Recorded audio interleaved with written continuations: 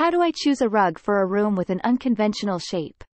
Analyze the unconventional shape of the room, looking for irregularities, angles, or curves that may impact rug placement and sizing. Determine the primary function of the rug within the room.